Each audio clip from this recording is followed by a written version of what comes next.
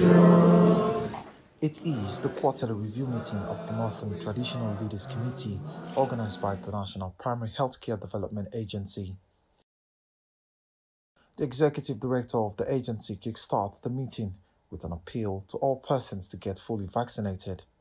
The emergence of WPV in some African countries shows that all countries are vulnerable until the virus is totally eradicated worldwide.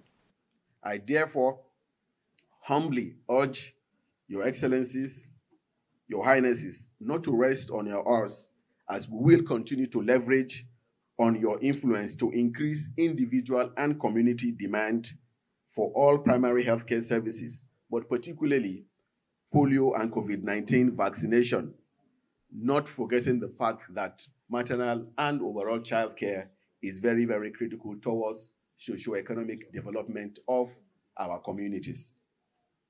The Minister of Health, on his part, advocates the need for increased coverage across all states in order to achieve Nigeria's target of vaccinating at least 70% of eligible populations 18 years and above.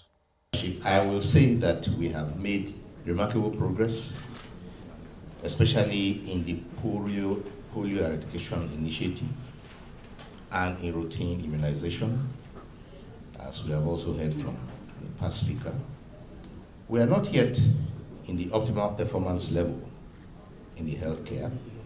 We have a lot of work to do, and we still, therefore, need and plead with you for this engagement to continue in order to achieve our goal of bequeathing a primary healthcare system that actually meets the needs of the people.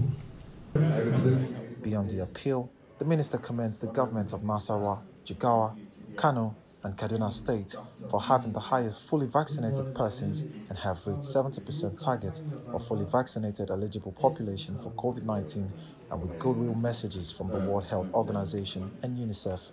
The meeting continues behind closed doors.